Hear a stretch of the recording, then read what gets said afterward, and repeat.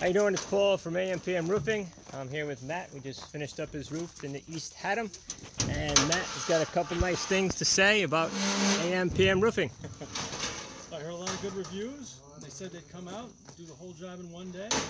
Not even the end of the day, they finished everything. They're just about all cleaned up. So I'm happy to have my new roof and my new skylights all in one shot. All right, great. Thank you.